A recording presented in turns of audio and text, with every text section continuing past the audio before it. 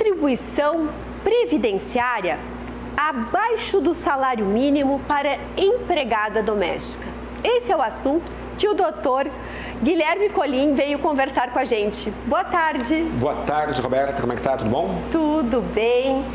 Bom, há uma recente decisão com efeito vinculante nas turmas regionais federais da quarta região que decidiu que no caso da empregada doméstica, as contribuições abaixo do salário mínimo serão computadas para fim de carência. Explica isso pra gente. Muito bem, Roberta. O que, que acontece? Uh, após a reforma da Previdência, ficou decidido que qualquer contribuição previdenciária abaixo do salário mínimo, esse é o texto legal, abaixo do salário mínimo não será computada.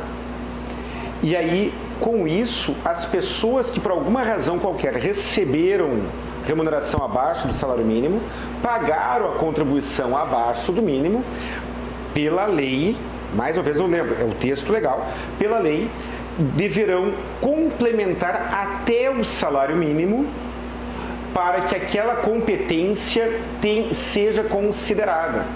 E a turma regional uh, do Tribunal Regional Federal da Quarta Região, a turma regional uh, do, de Santa Catarina, uh, proferiu uma decisão reconhecendo com efeito vinculante que, naquele caso concreto, tratava sobre empregada doméstica que uh, as contribuições abaixo do salário mínimo deverão ser computadas.